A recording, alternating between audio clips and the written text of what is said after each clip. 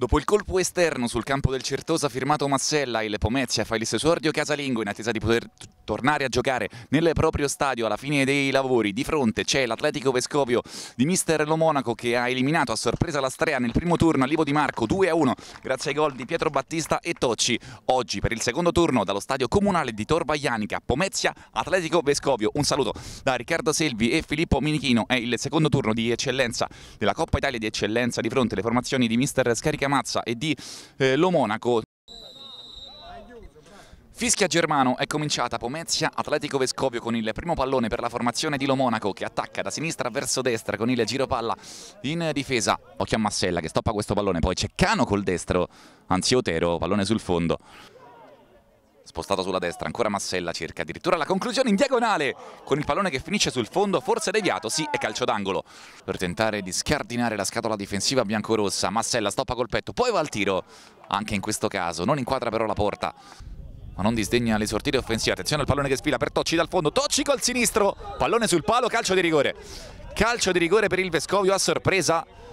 Il fallo commesso da Celli, se non sbaglio. Tocci contro Donato.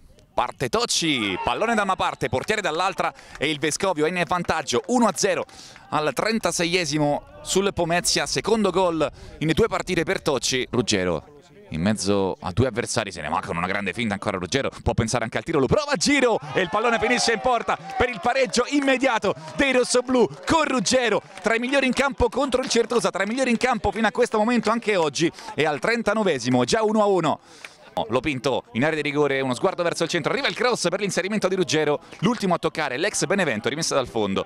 Ruggero verticale per Massella, grande sponda per Otero che va col destro e il pallone finisce sotto l'incrocio dei pali per un gol bellissimo del Pomezia che completa la rimonta dopo tre minuti dall'inizio del secondo tempo, botta sotto l'incrocio dei pali di Otero e 2-1 per il rossoblù.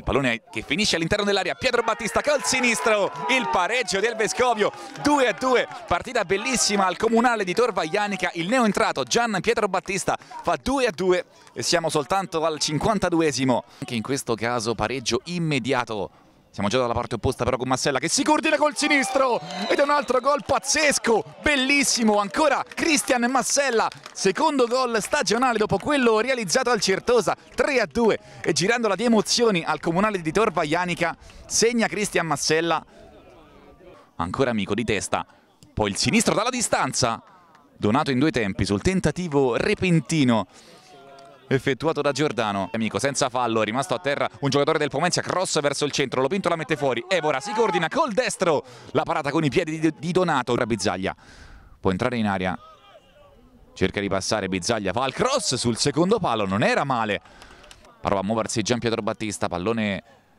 proprio per lui, uno contro uno con Lopinto, cerca il tiro di sinistro, la respinta di Donato e pallone che poi finisce in calcio d'angolo per Massella. Uno contro uno si butta dentro Gallo Massella cerca il cross ampio sul secondo palo verso Bizzaglia che si coordina col destro pallone ancora dentro e il Pomezia la chiude con il gol del 4 a 2 l'assist di Andrea Bizzaglia tutto al volo per Stefano Gallo che realizza il suo primo centro stagionale e porta il Pomezia agli ottavi di finale fischia per tre volte Germano, il Pomezia batte per 4 a 2 l'Atletico Vescovio al termine di una gara pirotecnica e accede agli ottavi di finale di Coppa Italia di eccellenza. Fuori il Vescovio dopo una gara comunque generosissima, in attesa ovviamente del, dell'esordio in campionato tra sette giorni, Pomezia di fronte al Grifone giallo-verde.